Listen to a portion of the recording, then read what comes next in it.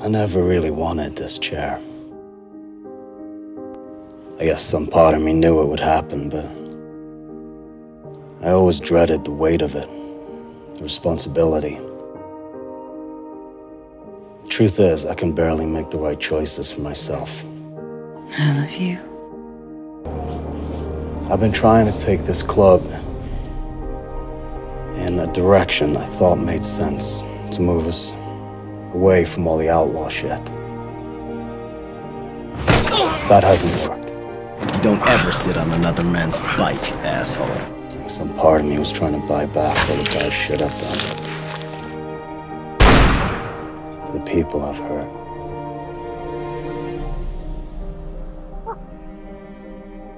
That's a false pardon.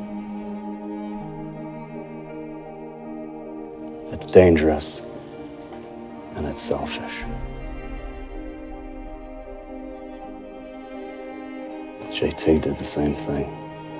I love you, Dad. And those choices took away everything from my old man. His family and his patch. Opie was right. You can't sit in this chair without being a savage.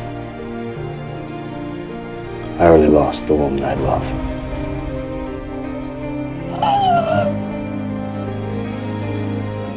I'm not gonna lose my club. For me to move forward with all the things we now have to do. I need to know this table has no doubts. No mistrust. That every single one of you I got this.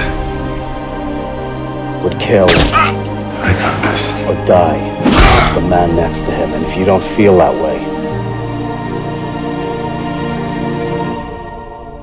now's the time to speak up.